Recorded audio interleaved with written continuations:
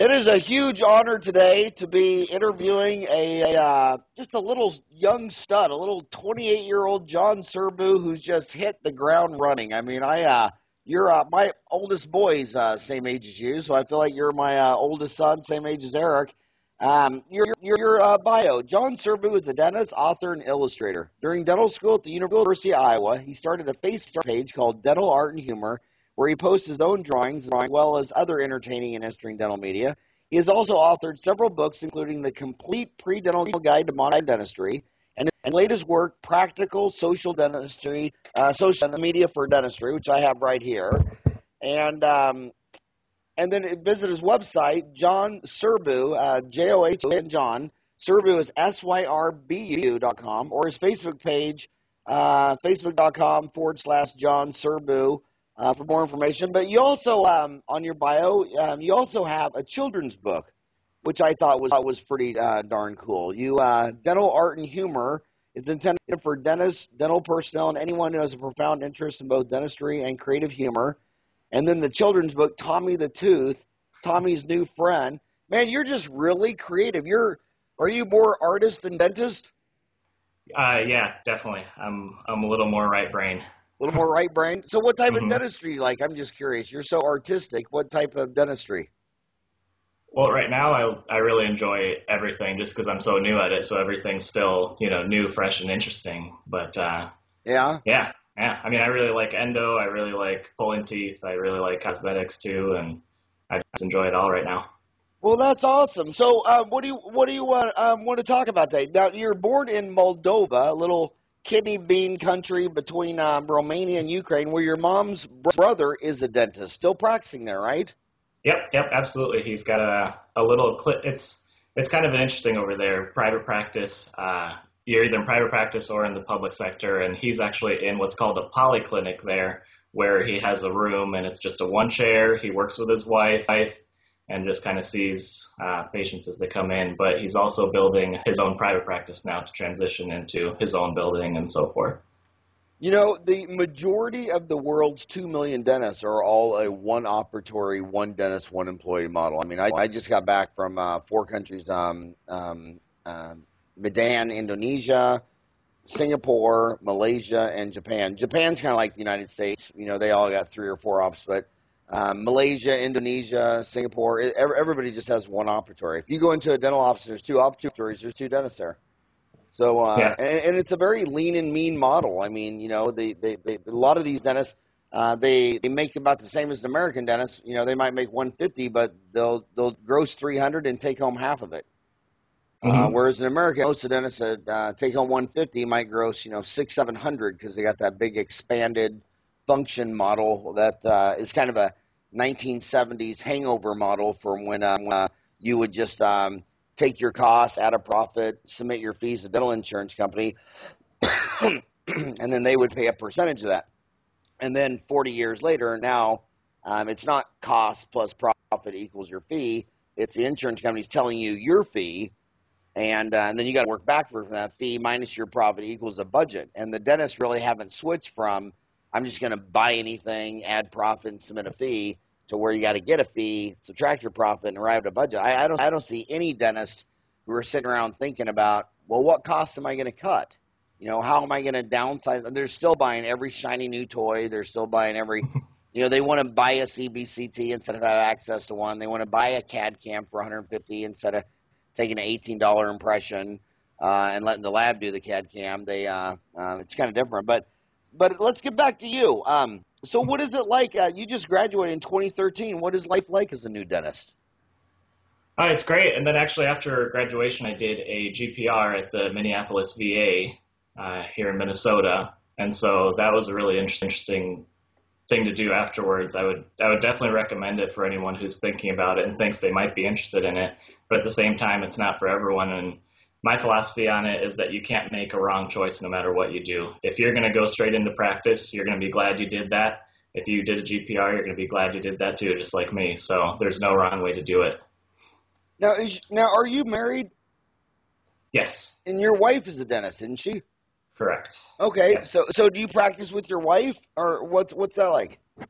No, no. We uh, we met on the first day of dental school. It's a classic love story.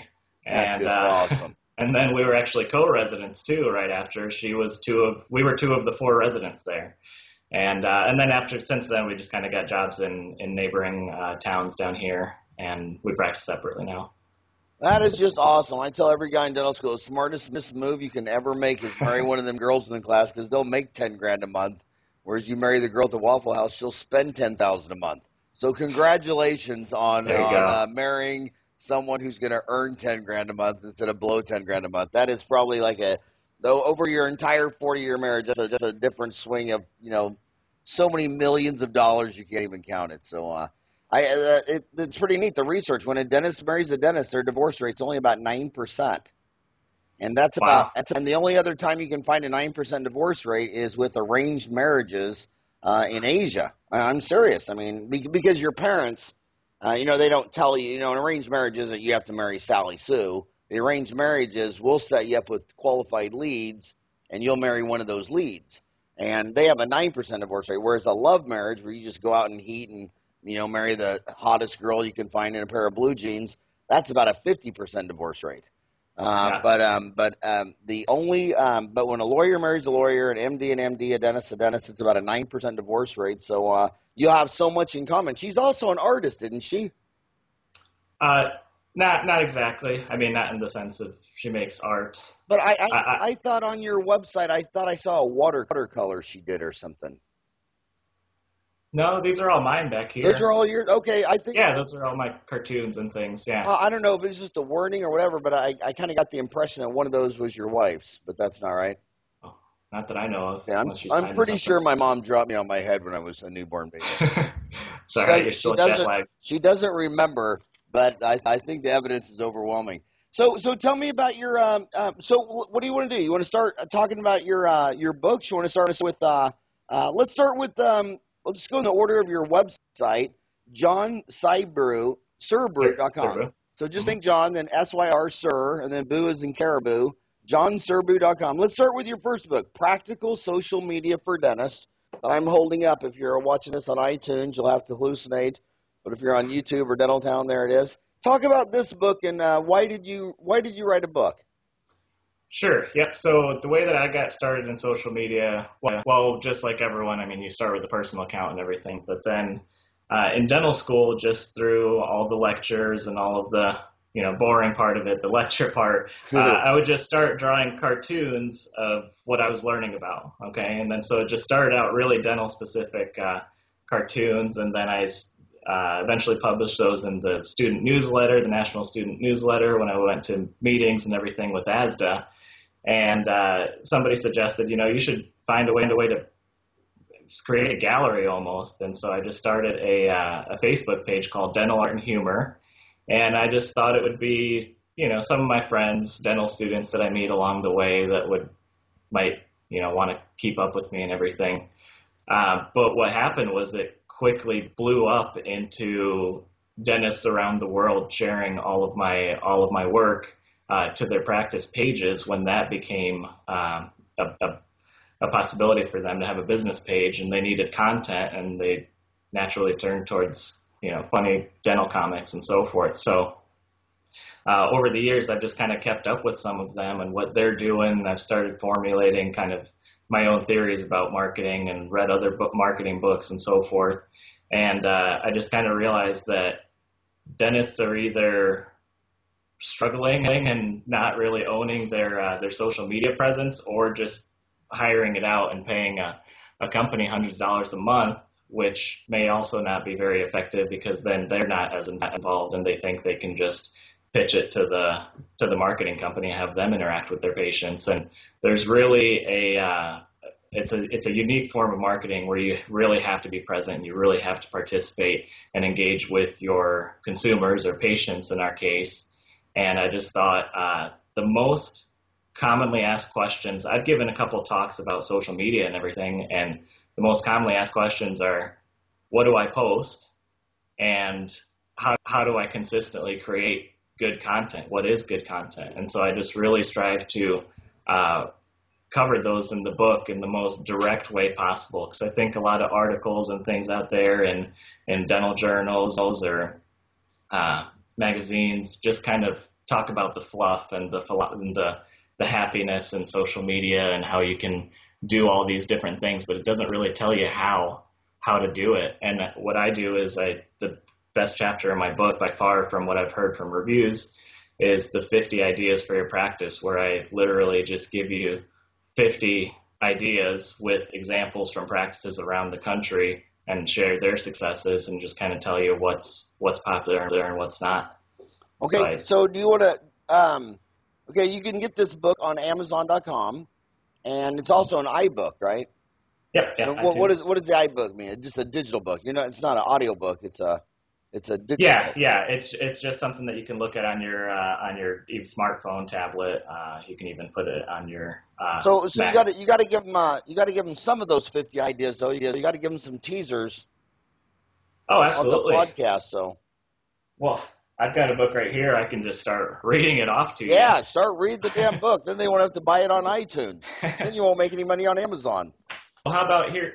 Here's uh, one of the one of the chapters right before that is kind of characteristics of quality content, and I can certainly talk about that and things that you should be looking for when you're thinking of creating content. Because this is really for the for the do-it-yourself dentist, especially if you're not going to pay someone to help you uh, co-manage your social media account, then you really got to step it up to the plate and, and participate in it and have everyone in the practice participate with you, kind of create that culture so that it kind of can kind of start running itself almost. Well, you know what? When I saw your book, you know what the first thing I thought is, um, you know, we've, you know, I've, I've had my office for 20 years, and we what we'll, we do what we've been doing for for 20 years is when there's a good book, when someone's read a good book, we'll buy you know, a copy for everyone, and then we'll give we'll give everybody you know a month or two to read it, and then we'll have a meeting on it. And what I don't understand about dentists that don't want to do social media because because when you when you look at the, the um, it's it's easy to tell that you're a boy dentist and your wife's a girl dentist. I mean, you know, to tell the difference between a boy and a girl, you just got to be a Neanderthal, Cro-Magnon. It takes a little more sophistication to see that maybe you're from Moldova, I'm I'm Irish or Mex- Mexican or Asian, and that's not really that big of a deal. But the hardest thing to see is that you have four different people thinking. You know, the the seniors, think differently than the baby boomers versus the Generation Xers, the millennials. So I think a lot of people that are your age at 28 get this social media, but a lot of the older baby boomers and some of the generate the uh, the uh, the seniors uh, that are 55, 60, 65, 70, they they don't really get it. But when I go in their offices, you know, they don't get Facebook, but their damn assistants uh, checks her Facebook 25 times a day and if the whole office would read that and then he would outsource that to someone who's in the practice, it'd be a lot easier to get pictures of patients, pictures of the dentist. You know what I mean? It'd be a lot easy, easier to generate content than as if you outsourced it for, for $500 a month to someone a thousand miles away from your office. I mean, wouldn't you want to out? Wouldn't you rather out, outsource it to an assistant who already has the natural behavior to get on face check Facebook in her bed before she gets out, and she checks her Facebook in her bed before she goes to sleep? than to send it, you know, clear across the country? That's definitely one way to do it. Yeah, um, you'd want to establish some some basic policies and make sure that you know she's conveying the the principles of the practice, the values of the practice. But your you know, book would do that for.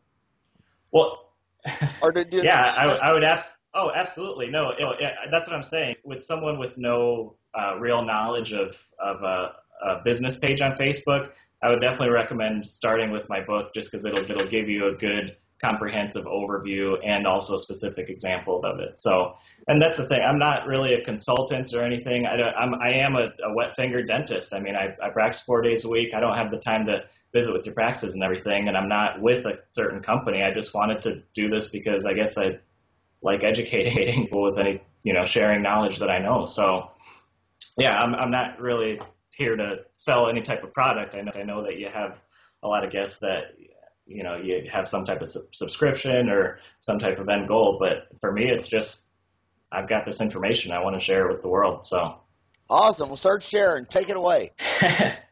All right, so I can just give you kind of uh, get you in the right mindset for creating content on on Facebook. So this is just kind of a, an excerpt from my book, I guess.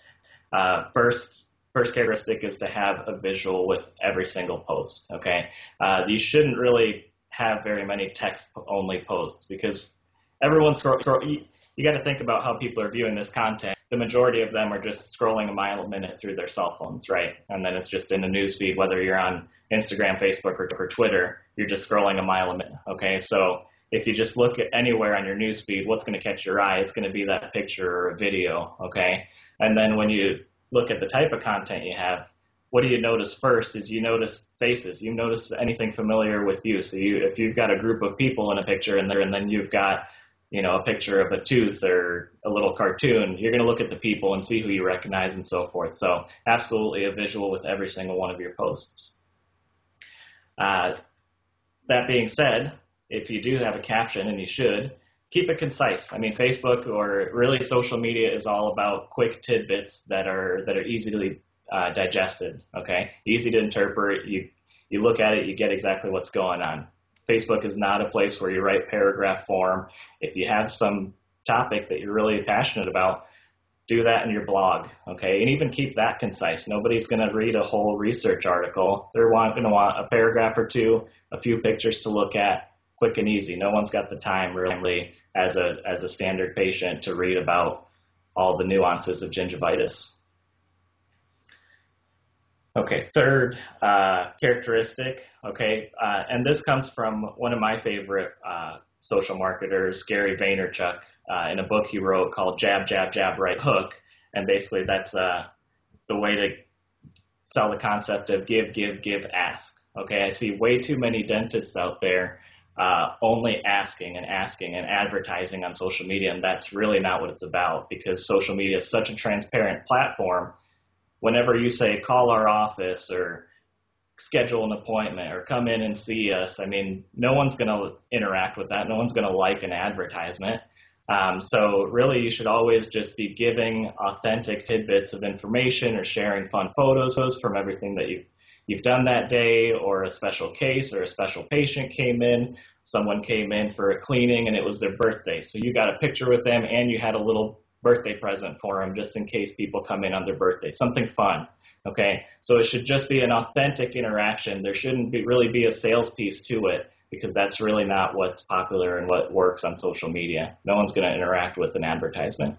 Okay, so you got to give, give, give, and then once you are ready to, if you're running a special special promotion, or if you are ready to uh, to try and uh, do the the call to action, more people will be more receptive to it because you've given them so so much they almost feel bad not uh, not committing to your call to action. So that's the give give give ask concept.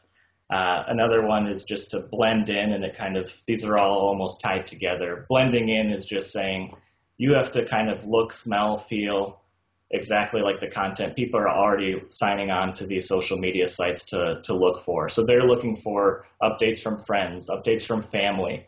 They're looking at uh, celebrities or businesses that they've chosen to follow. So they're just looking for that type of information. They're not really looking to call your office for an appointment when they're sitting in the in the line at the at the cafeteria waiting to get their food. They're just scrolling to have fun. So put out this information and blend in with the content they're already looking for rather than disrupting it or disturbing it with your little sales pitch. Okay, so just really try to stay away from, unless you make an advertisement, really make your day to day posts just authentic, interactions and uh, kind of displaying and shouting out what your message is and what your story is. I say you try to think of your Facebook page almost like a diary or a, a collection of works from your day-to-day practice that in 50 years you're going to be able to look back on look at all these fun pictures look at all this great content that we've put out. So really just blend in with with everything that's that's already on Facebook that people are looking for. You, you just said something profound because I remember when I was a little kid and you know mom would always take me and my five sisters to uh, the cemeteries and you'd see where your grandma and grandpa's was and all all you'd have is two dates with a dash.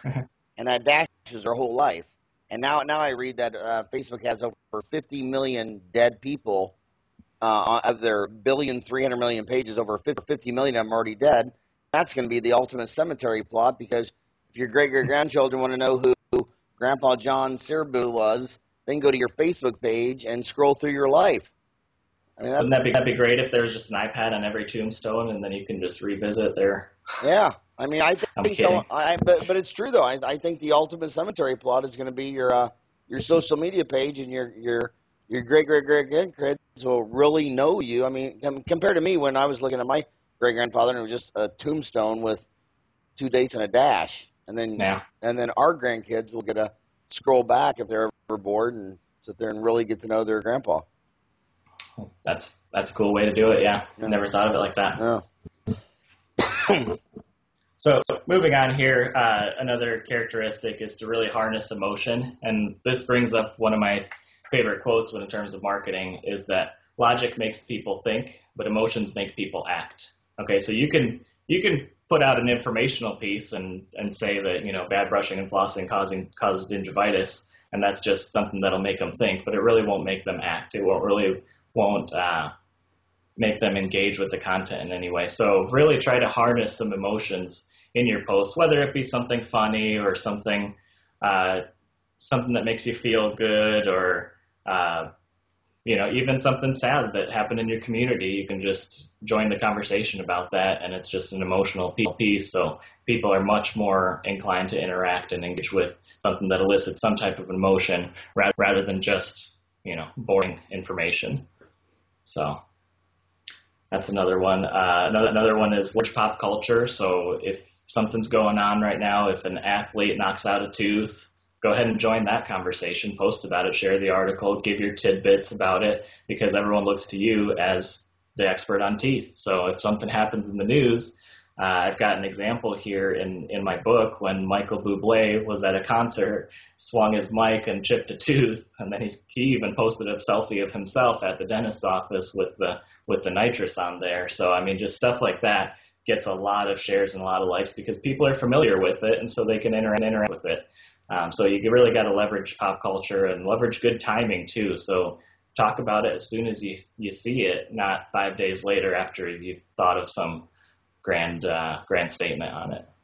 Okay, and then just the other ones are just kind of be consistent, uh, be consistent in your message. So you do want to establish that that culture and the values of the practice with anyone that's going to be active. Uh, actively posting to your Facebook page so that the message isn't lost because when consistency isn't there, you kind of you kind of get shaky on your message. Uh, can I can I want to ask you a question that's relevant now? Um, uh, America, you know, a lot of people people think the biggest sport in America is the Super Bowl, and they say the NFL is the biggest, and college football is number two, NASCAR is number three, and those are the only three sports that are gaining in money and revenue, market share. Everything else is contracting. But I think the biggest sport in America, without a doubt, is is the uh, the election every four years. I think that is the craziest ever because because think of the last election. Uh, you know, the White House spent like a billion. The I mean, I, I think the whole election, I think it was like three or four billion dollars spent. And after the last election, no, the the the White House didn't change, the Congress didn't change, and the Senate didn't change. So all that freaking noise and all that money and all that chaos, and nothing even changed.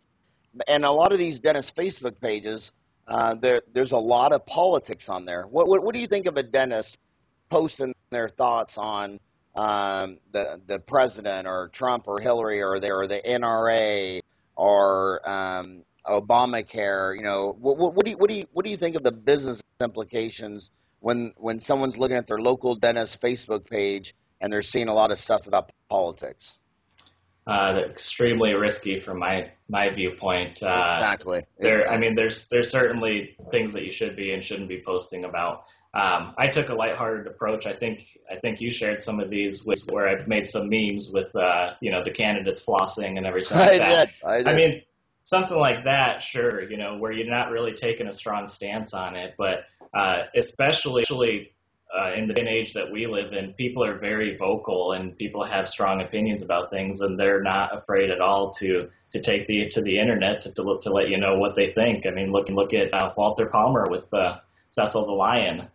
I mean, his reputation was just immediately overnight, uh, you know, uh, almost destroyed by by people that have strong feelings one way or the other, and and his Yelp page was inundated with thousands and thousands of posts. The reason I reposted yours, uh, you, you had posted those in um, Dentally Incorrect on Dentaltown. Yeah, I what I liked thread. about yours is you were equal opportunity. I mean, your your exact post, you couldn't tell who your candidate was because you made fun of all the front runners.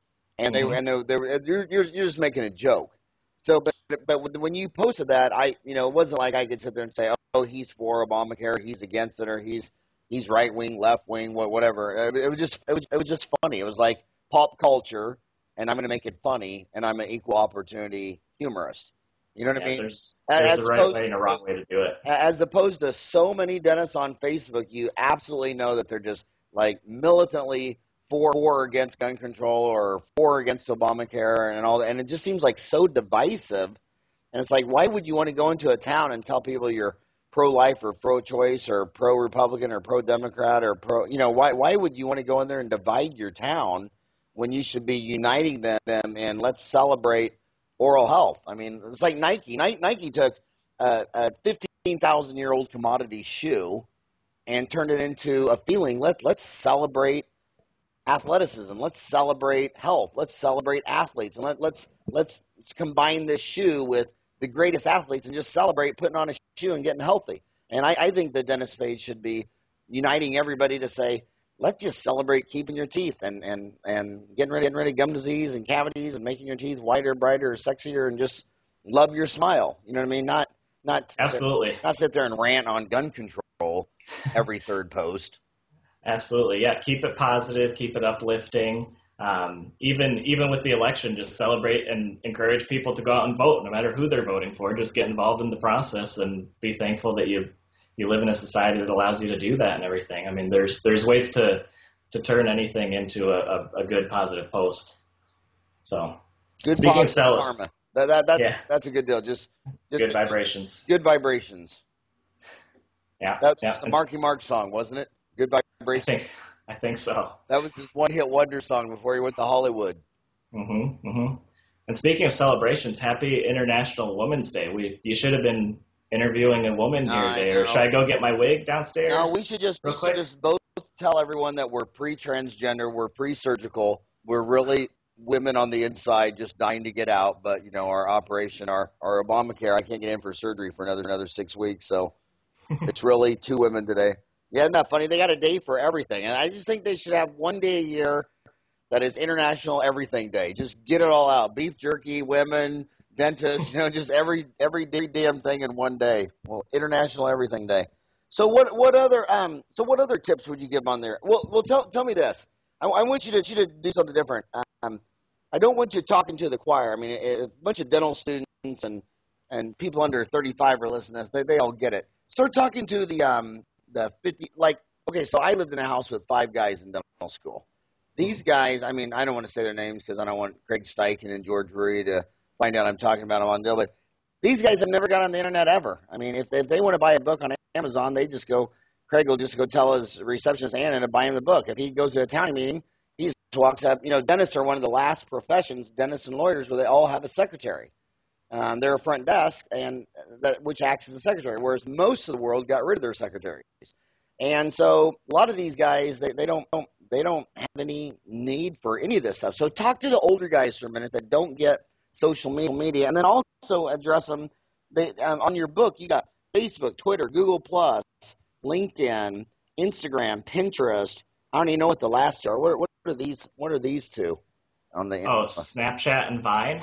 Yeah, I didn't see. I didn't know what those are. Um, you know, so if you're if you're, why should they do it? Let, us go back to why before telling them the directions how to go from Phoenix to LA. Tell them why they want to go to LA, and do they have to do every damn one? If you were only going to do three, what three we would you do in order of uh, most return on your time and money uh, uh, to lease, and, and why?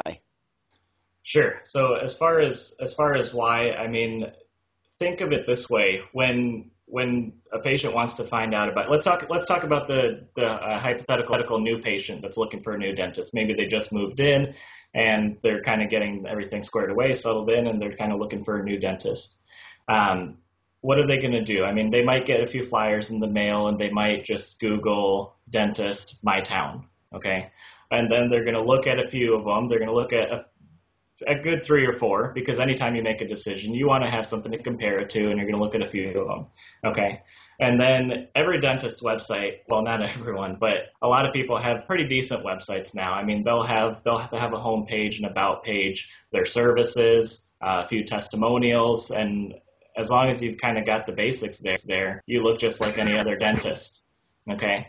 And then how are you going to find out more information about it? I mean, the path, pathway from a patient to their dentist is really complex today. You're going to go online, Google their website, check out their website. You might check out their reviews. You might want to look at what kind of person they are, what kind of uh, what kind of practice do they run, and then so social media is really a great way to have someone instantly become familiar with the general feel and environment of your practice because they're going to see pictures of you with patients. They're going to see pictures of the, your staff enjoying themselves day to day, having cookies in the break room, celebrating someone's birthday, doing all these fun, uh, interesting things. And they're, they're, all that it takes is just to scroll through your timeline a little bit and instantly kind of get a feel for who you are and what you do.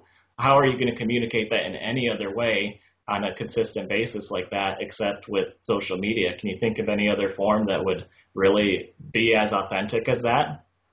I mean, you can do billboards, you can do TV commercials, there's all kinds of advertisements there.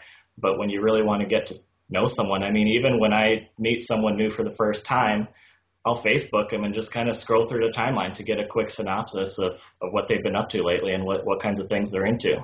And you know I mean, what? And you know another really important thing about this social media is um, I don't know um, if your mom's brother can advertise in Moldova, but a lot of those countries, like uh, Hong Kong and Singapore, they ban advertisement. A lot of, uh, I think, uh, um, I think Romania, m- many of those countries, uh, they they ban direct mail, billboards, TV. They they ban all that stuff. But those laws are so old on the books that there wasn't social media when all those laws were written. So a lot of this social media has gone into hyper gear in all these countries that have banned advertising um, because you know the lawyers aren't can't throw you under the rug for Facebook because, like I say, when those, when those laws were written, there there was no social media. So the, the, your your book will actually be far more valuable in Hong Kong and Singapore than it will be in, in America, where you know you can do any form of advertising. I need to have it translated then.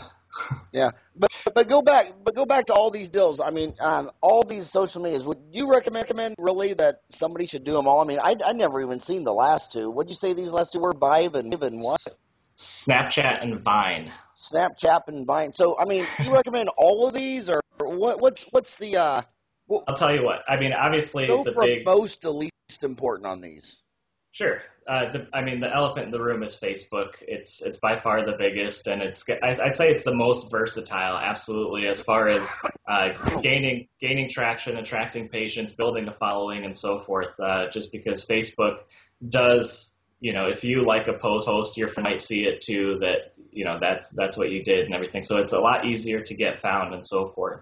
Um, and the the quickest growing demographic on Facebook is these older people because everyone more young is already on it and already moved on to other uh, social media platforms, but they still kind of keep it as their base. I mean, Facebook is just something that's uh, very well established. Next in line, as far as the tiers go, I'd say are Twitter and Instagram. Um, I mean, Twitter, I don't personally use Twitter on a personal level very, very consistently, but I'm very into Instagram, and that's obviously a picture and video platform uh, short videos and everything.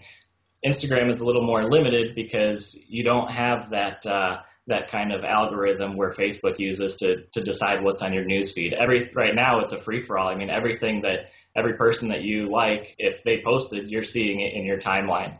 Okay, and then the only really way to discover is to either advertise on Instagram or get found through hashtags and so forth. What I found that a lot of dentists are really gaining traction with on Instagram is just the dentists that take a ton of pictures of their dentistry and they've got a huge following of dental students around the world. I know dentists that have followings of tens of or even hundreds hundreds of thousands on Instagram and their practice page isn't necessarily gaining any traction from it, but they're just extremely popular and I like to follow them too just because I'm interested in dentistry. So I, I found that Instagram, uh, you can really get a good, a good following of other dentists and like-minded people, but it's going to be a little harder uh, to really gain. Uh, the, now, now Instagram is something you can only do on your smartphone. It's not you can't do it on your PC, right? Yep, it's strictly a mobile platform. That's just isn't that just kind of weird? I mean, isn't that the only one that's like that? Why why well, would they just knock off the whole desktop? Snapchat is also like that. Well, because that's that's kind of the trend, and it just really wouldn't work as well on a desktop. I think of Pinterest as the desktop version of Instagram. Uh, and the reason Pinterest works like that is because when you, when you think of the concept of Pinterest, it's almost like a board when you when you've got pictures all over it, and that that really works well on a wide view platform of a desktop, and you can see everything like that. Instagram is just kind of a linear. Uh, and you think Instagram is bigger than Pinterest? Overall, yeah. I mean, even just the user base, absolutely. Yeah, um, and that's that's owned by Facebook, right? Yep, yep. Uh, Facebook owns Instagram, and I believe Twitter owns Vine, but I'd have to check my facts on that. And I uh, noticed on I noticed on your book, your Practical Social Media for Dentists by John Syrbu. Um, your first review is by the man himself, Ed Zuckerberg, the dentist father of Mark Zuckerberg, wrote you an amazing review. Then Jack Hadley, who's a partner in my social practice, um, then Chris Salierno, chief editor of Dental Economics, and my buddy Anne Marie. Um, I can never say her last name. Gorczyca. Gorczyca. Anne Marie Gorczyca, um, author of It All Starts with Marketing Beyond, wrote you a great review. Then Alec Witter, CEO of Higher Learning Technologies. Who? What's what's Higher Learning Technologies? Actually, I, I went to dental school with him. He was in my dental class. Uh, very interesting story. He's a dentist. Uh, he actually didn't graduate because his company blew up. and really? he, uh, yeah, yeah, that'd be a really good one for your next podcast. Actually, will, will you will you fix it with him? Absolutely. Yep. Well, I haven't yeah. heard of a dental student who drops out and starts a company. Is he making more money than dentist? He's made he he's already worth more than anyone in our class. that is yeah, no, awesome. he uh, what he did was he you know the dental the the dental decks platform, you know, all those little flashcards. Yeah uh, to study for boards. Well, he wanted to do away with that, and he wanted to uh, put those all on an app uh, on a smartphone. And so he contacted these companies asking them to do it, and nobody would do it. They just ah, that's a waste of time. So he ended up making an app uh, for dental boards, and he's since moved on into nursing, uh, medical, pharmacy, and he, they're just basically uh, a, a boards review uh, app system right now, and and they're just killing it. That is just awesome. Yeah, you'll you'll fix me up with him. Sure. That is just that is hilarious. And then and then the last review was um um Kara Bar Vavrosky, founder of Dental Hygiene with Kara RDH.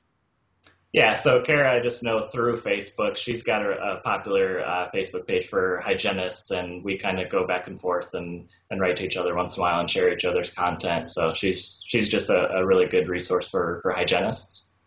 Right on. So, uh, so then, what do you, do you want to still talk about practical social media, or do you want to go to your next book? Or, I'll talk about anything. Well, what, what do you what do you think would be best? Um, I mean, we can we can go all over the place. We can sure we can mention some of my other projects. Yeah, let's uh, let's go. Let's just go down the deal. Let's go with dental art and humor. Dental art and humor is intended for dentists, dental personnel, and anyone who has a profound interest in both dentistry and creative humor. Is this more? We'll talk talk about that. What made you write that write that book?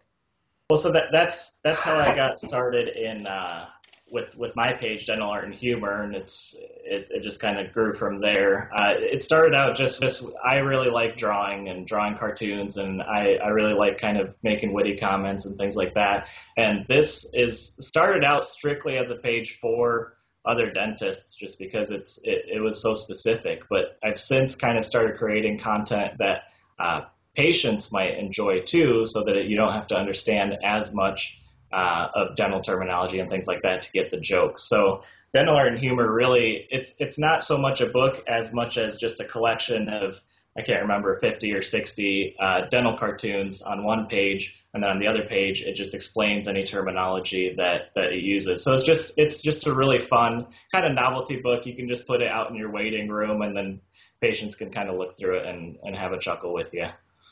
Yeah, but uh, but yeah, a lot of people, a lot of dentists will share um, a lot of my comics just on their uh, Facebook page that that patients can understand, like the like all the uh, deciduous teeth having a dance, and then you've got an old molar saying no grinding.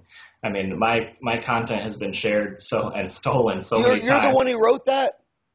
Yeah, no, there's you you you, prob- you wrote the uh, the joke, uh, the older molar telling the young deciduous teeth no grinding? Absolutely, and the one with That was the uh, joke. the one with the tooth looking at orange juice that says no pulp. That's yours too. Oh, those are classics. Howard, on your personal uh, Facebook page, you used one of my uh, creations as your profile picture. When uh, the two incisors like this as equality. Oh, or is that that was yours? Yeah, yeah. Oh man, that that was so romantic to me because uh, my uh, my little brother's gay, Yeah, and we grew up in Kansas, which is the only state that uh, uh not allowed to teach evolution, and they teach creationism, and I mean they they just tortured him back there. Yeah, I mean they just tortured him, and when that uh, so, what did you write that when the Supreme Court ruled in on that? yeah, yeah. It was just my my take. That was, and actually, I got flack for that for being too political because someone called me out and said, "This is a page about dental art and humor. We don't need politics in here." And I'm like, "Come on." Well, gay people have So- teeth too, don't they? Yeah, Don't don't get don't gay people need to see a dentist too? absolutely. Uh, yeah, that's uh, yeah, that was man, what a rough childhood. My two oldest sisters were Catholic nuns, and my little brother is Liberace. I mean, I mean, uh, how would you like to sit around that Thanksgiving dinner? I mean, that just, oh my God, that just, that is just a hard, hard to reconcile family, family dinner when you got two Catholic nuns and a gay brother. Fun, fun times. So let, let's switch gears to this, um, the complete pre-dental guide to modern dentistry um, an innovative and visual approach to understanding basic dental concepts and procedures. So, is that for consumers or for dental students? That is for high school and college students, uh, and even maybe first year dental students uh, considering a career in dentistry. And I wrote that while in dental school, at least the first edition I wrote while in dental school, uh, because I was just blown away by how little I knew of the actual career of dentistry uh, when I got into it. I mean, I couldn't tell you what a crown was. And so if you, if you don't have, if your dad isn't a dentist, you might think that dentistry is great because you make a lot of money and you don't you don't have to work Fridays. You know, I mean that's how naive it can be. And uh, all the other literature out there, I realize, is just how to take the DAT, how to do well on your, your interviews, and how to get into dental school, but nothing telling you, hey, day to day, what are you going to be doing for the rest of your life? And so uh, I, I basically just started writing, and it turned into a book, and I authored and illustrated it, and that's my most successful book by far. And I don't do any advertising or marketing for it, just because I know that's what uh, that audience is looking for. And, it's, going to be it's going to be pre-dental people buying that book. yeah, yeah. So it, and it, I mean, I've So, people have told me that how are they finding? Are they finding it on the message board, student doctors, or it might be on there. I don't know. I mean, I, I just put it on Amazon, and that's that's all oh, I did. Amazon? Okay, Yeah, and that that's I your mean- number one selling book. absolutely. Well, you know Yep, what we, you know what we need to do. Um, you know, you think um, at your age, you think social media is huge. I'm an older guy. I'm I'm old enough to be your dad, and um, the Dental Town magazine, believe it or not, it, it's mailed to 125,000 dentists every month. And a lot, a lot of people think newspapers and magazines are going out of business, and it's just simply not true. Uh, No. People aren't going to pay for a newspaper or magazine, but if you mail them a free magazine, they're monkeys. They're going to take it to their chair and they're going to read it. And, and um, that's actually more influential than the Dental Town website. You know, the Dental Town website um, really didn't even really start to become any form of influential until about we started in 98 but it was about 2003 before it even started to get traction facebook didn't start till 2004 but now now i would say the the, the website's about a third but the magazine's still two-thirds i'm sure someday the, the website will be all but you should write a, um, a review of your practical social media for dentists and then and then when you write that up um, tell them um, you should post your Hall of Fame cartoons. You should start in saying that that equality, that that pulp. I mean, you're the ones that have been shared the most because you know when you share those, you see the name there, but you doesn't, doesn't really Oh yeah, yeah. don't read it and register The, it. the name's really easy to crop out too. But the uh, the no pulp, yeah, the no pulp. I mean that that's. I mean you you should you should do that. You'll you'll sell a ton of books if you write a book review in the magazine. And we and and I think the theory of the book should be, you know, to write um, for the older people too that you know th- this would be a great book for uh, you know the person in your office who's doing your social media if if the doc's not into it himself. You know what I mean? But this is something the whole office should read because I think if the whole office got on board, then they'd all be looking out uh, for that one good picture of the day. You know, it's a cute kid getting their first cleaning, or, or somebody, you know. Yeah, it can it can seem like a lot of work unless you have a method to it, and I talk about that a little bit in the, in the book, kind of creating that culture and making sure that everyone's on board to participate and organizing it, creating a social calendar basically, which is a, a a literal calendar in the break room somewhere and just kind of mark down. I've got a list of all sounds the holidays. Like, sounds like your next app. Your next book and, should be an app. An important date. The, the, there you go. The dental app calendar, where you just have that app, and every day it has an idea. Yeah, yeah, and I mean even something little. You want to hear a great investment for uh, for a dental office as far as increasing their uh, uh, content on Facebook is buy a selfie stick as as stupid as it is, selfie sticks are so much fun, and and what really gets a lot of engagement is group photos because there's a lot of people in it. Someone's going to know someone, and if you can tag uh, your assistants, your hygienist, all of their friends are going to see it, and that is going to get a ton of traction. Uh, and it's just kind of a selfie stick lets you be in the photo too because you're the one that's taking it and, and everything. So just buy a selfie stick put it in the break room at your monthly meetings take a take a group photo every single month that you have a meeting and just uh, carry your selfie sticks to group events if you do a 5k uh, local events everything. I mean it's it's just a stupid cheap little gimmick but everyone has so much fun with it. That is, that is a great idea and then I want to talk about your uh, your last uh, book on your website um, of uh, johnsyrbu.com is um, Tommy the Tooth. And uh, you know, I um, I, I want to say something, just a little rant here on the. Uh, um, you know, we're, we've always been told that you know the whole world's gone from drinking water to drinking soda. Uh, they show us all these charts about you know pounds per sugar per consumed per year and how it's been going up forever, even though it's been um, leveling off and contracting a little bit, starting about three. I think it plateaued about three years ago. and It's coming down now. But when you go around the earth, I mean, I mean, look at me. I, I overeat. I'm fat, but I haven't had a cavity in 28 years. And when I go around to Indonesia and China and Malaysia, they all say that this generation consumes twice as much sugar as the last generation, but they have half the cavities because uh, they, they only relate it to home care. They don't relate it to diet because, and they also don't relate it to water fluoridation because Singapore has community water fluoridation like Phoenix does, but Japan, Tokyo doesn't have it. But in both places, the decay rates plummeted because of stuff like Tommy the Tooth, Tommy's new friend, of educating young kids, getting parents involved in teaching kids how to brush and floss their teeth. The decay rate's coming down regardless of water fluoridation or fluoride in the toothpaste or sugar consumption. It's, it really has to do more with behavior, um, not pretty much what you're eating diet, which is so counterintuitive to what we hear from the ADA, the CDC, all, all the published literature. That's just not what the, the dentists are telling you when I go around to 50 different countries and talk to the people in the trenches. So I, I, I always think the, um, I mean, who cares about making grandma a denture? It's all about the kids. I mean, pediatric dentistry is the most important branch of, of dentistry, not and geriatric dentistry would have to be the least important. So talk about Tommy the Tooth, uh, Tommy's new friends, and do you think that's um, this book is going to actually get little kids to change their behavior and take care of their teeth better and prevent disease?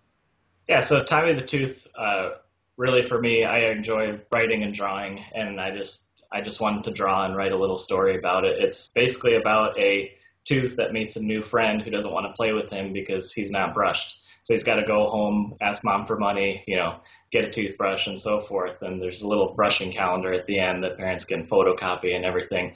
Um, you know, I, I don't know. I didn't do the research and, you know, ask myself, is this really effective? Uh, it was just a really fun thing that, that I did. And a lot of just friends and grandmas of friends and everything really had a, a had fun uh, time with it, reading it to their kids. So, you know, feel free to order one, try it out, write me a review and tell me how it went. Well, you know, uh, like I said, you, you got you got a. Uh, I, I get a couple feet of stuff uh, every month mailed to me for a little little hundred page magazine. You know, we got to get rid of about three feet of stuff every month. But you got a. Uh, is that the cat? The cat is knocking over my computer. But anyway, uh, but you, you got you got, you got carte blanche. You when you want to write a series of reviews for this stuff, or just uh, uh, write it up, send it to uh, the the editor is Tom Giacobbe. So just uh, Tom at dentaltown.com or he might be Tom at Tom at farranmedia.com. I think I think he's both both.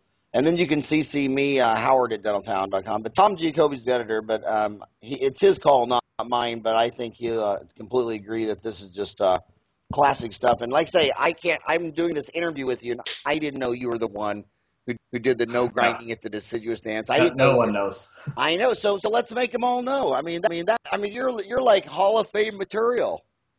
You know, another thing. So I uh, I started in As the News, which is the newsletter. If you want to have a comic section in Dental Town, just a half page or a fourth page, get. I mean, I'm, I don't know if some company will sponsor that or anything, but I've got content for years. So Well, no, well, I, I'm I'm full of it. Well, pitch, pitch that. Well, you shouldn't tell people you're full of it. They might they might take that wrong. Uh, but yeah, yeah, yeah. Pitch that. Email that. Let's pitch it to the team because um, th- that's a great thing about uh, Dental Town. We don't we don't have to be sponsored or anything because we're uh, it's a family owned business and we're rich. We don't have have we don't have to do nothing for money. Um, you know, I mean, uh, I mean, I, these podcasts are free. I mean, you know, have, have, almost everything's for free on Dental Town. But uh, but yeah, I I think uh, like I say that that just blew me away. I did not know. Th- those are probably the three most. What what other most famous ones, ones you've done?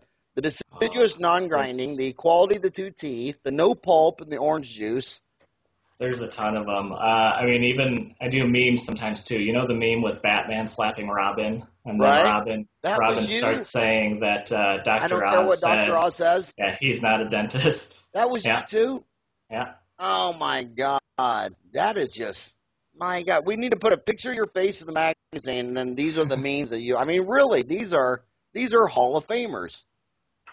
Yeah, no, no. I mean, it's been viewed millions of times, and and uh, I think if you're a dentist and use the internet at all, you've seen some of my work, even though my name, you know, maybe wasn't on it, and But, and so forth. but because some of these people they crop uh, they crop pictures out.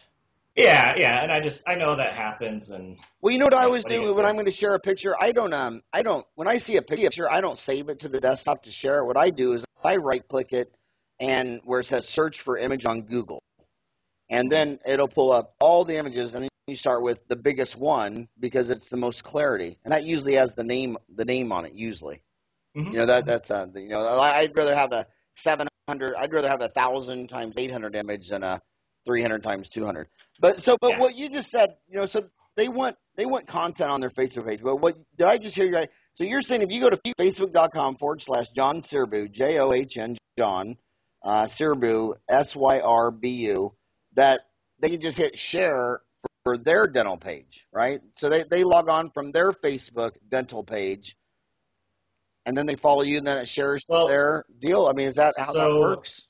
So John Syrbu is just kind of something that I created uh, now that I have a few more books under my belt and projects, and it's just kind of a hub for everything that I do. Uh, as far as uh, these cartoons and everything, they're all on Dental Art and Humor. I mean, if you just Google Dental Art and Humor, it'll take you right to the to the Facebook page, and, and or it's just facebook.com slash Dental Art and Humor, and that's where oh, all Oh, so of you're these. saying there's a www.dentalartandhumor?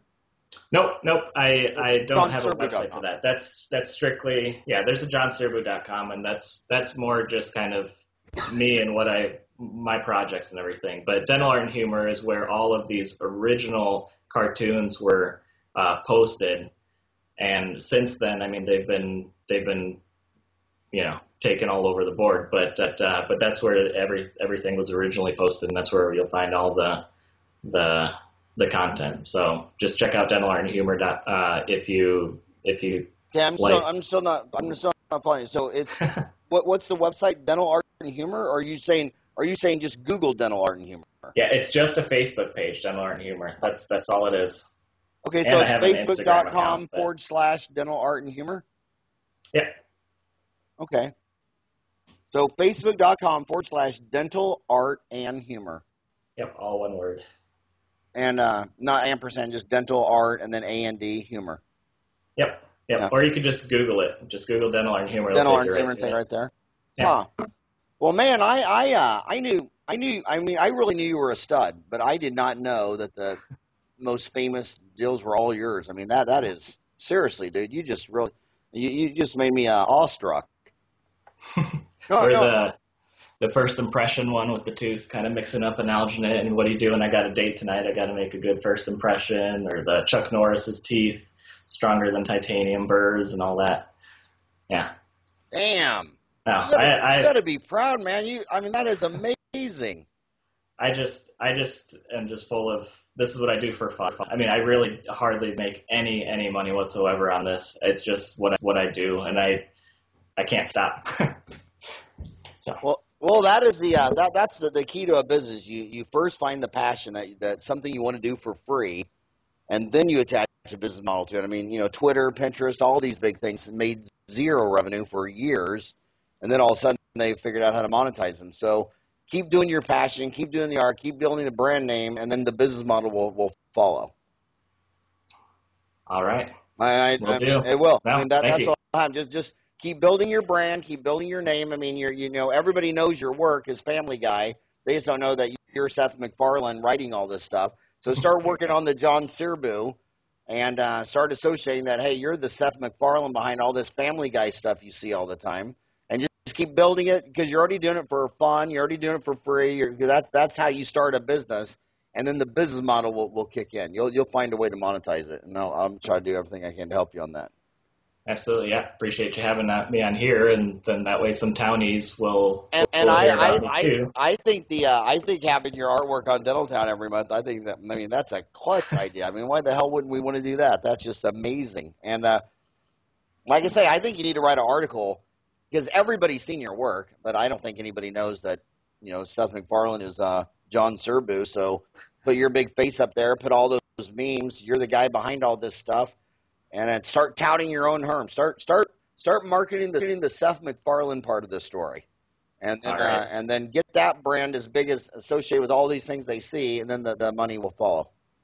Yeah, no, and I'd be happy to, and I, would feel honored to in Dental Town because I, I really do just use Dental Town, and and that's kind of my go-to. I really think it's the impact of Dental Town is is huge in the in the dental industry uh, from from so many standpoints. I mean, even when you say that uh, other other countries use Dental Town as their textbooks, almost uh, just just the impact that it has is is incredible, and I just have a lot of respect for it. And I'm a townie, and I I use it every day. So you know, you know, it was uh, you know, I just got back from um, um, um, Japan, Singapore, Malaysia, and um, Indonesia, and it was just amazing how how about one out of every fifth dentists that come up to me and talk in uh, Indonesia or Malaysia, I mean, they get teary eyed because they said, "Dude, we were in dental school and our books were 15 years old, and they were, you know, uh, from China. They're in Mandarin Chinese. We don't even speak Mandarin."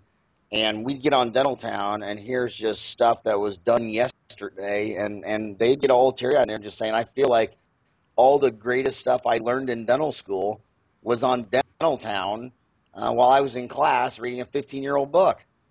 So the so I keep telling these dentists, these dentists that are, um, I mean, I mean, Dental Town has nothing to do with the the website. It's all the people posting amazing freaking cases on endo, perio, pedo, you name it, and and those guys are educating. They're literally educating dentists in 200 countries every single time they're they're posting. You know what I mean? Yeah, yeah. You made me think of a good point uh, just with that story is that, you know, if I'm the Seth MacFarlane of, of John Syrbu or whatnot, and you're the Howard Farran of Dental Town, I mean, people probably originally knew Dental Town much more than they knew who Howard Farran was. But it just goes to show you that even on social media, you have about twice as many followers as Dental Town because people do want to connect with people. They don't like to follow brands nearly as much as they like to follow people. And that's especially important for the dental industry being a service industry where we have such an intimate relationship with our patients and they know our name and they know our faces. They have their favorite hygienist. And that's why social media is so, so important and relevant in uh, a dental office because people are following people. So all social media is is just people interacting with other people. People like like uh, like other people, and that's just human nature. So that's why I think social media is, has so much so much success, and so many people are on it and using it almost like an addiction. I mean, they just use it every single day, uh, just because they just it's their way of interacting with the outside world. It's just in a digital space.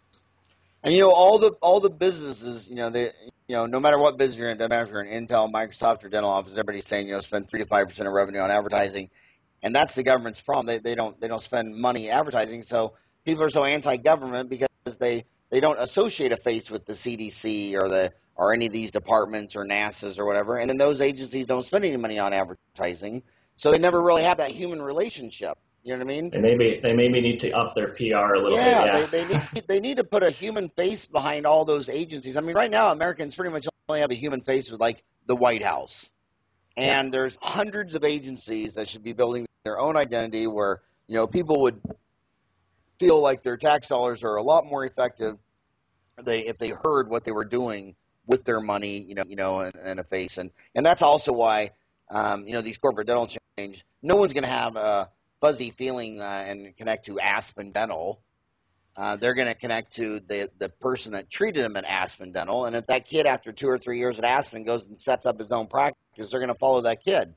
Yeah, and especially if you are a private practice dentist and you have any concern for corporations coming into your town and take, taking your patients and, and you know all, all of that, I mean, then you really have to step up your and solidify and cement the relationship with you and your patients. and that and social media is obviously a great uh, way to do that. And if you have any uh, look to the future as far as your practice. I mean, right now, sure, a lot of your practice is the the money coming in is from the baby boomer generation and so forth. But when it comes time to interacting and and and uh, a relationship with millennials, I mean, good luck if you're not going to communicate on the way that they communicate, which is online and in social media. I mean, it's just not going to be. You're going to get taken over not only by corporate dentistry, but by some young shot that knows how to how to brand himself and how to connect with with millennials when they they become uh, the big money makers of the practice. But as a baby boomer, ain't it true that millennials are so damn lazy they're not going to come into the dentist anyway? I think so. oh yeah. unless unless their mom scheduled their appointment. That's the funniest thing. You always hear how the old people think millennials are so lazy, but they just they're not lazy. They just think differently, and they're not gonna they're not gonna do anything that they don't think is logical. You know, you tell them to do a task, and if they think it's illogical, you know, they they appear lazy, but they're just not gonna do it. You know what I mean? They're they just think differently. But hey, we're out of time. That's our hour. Hey, John, uh, seriously, dude, I uh, I knew you were a hot little stud, but I didn't know you were that stud. I mean, you, I, I, I thought I, I mean, really, I thought I, thought I was, uh, I thought I was interviewing a, a, an amazing mind on social media. I didn't know that uh, I was interviewing the guy who won the Oscar in it. Uh, that's uh, that's truly amazing. Send an email to Tom Giacobbe. Uh, uh, call him up, talk to him, pitch his deal. I, I think the, the comic thing. I think uh, an art an article. Uh, I think I, I want to help you spread the word of everything you're doing because I think everything you're doing is just amazing. So thank you for all that you've done for dentistry, buddy. It's been a lot of fun, Howard. Thanks for having me. All right. Have a good day. Bye bye. All right. You too.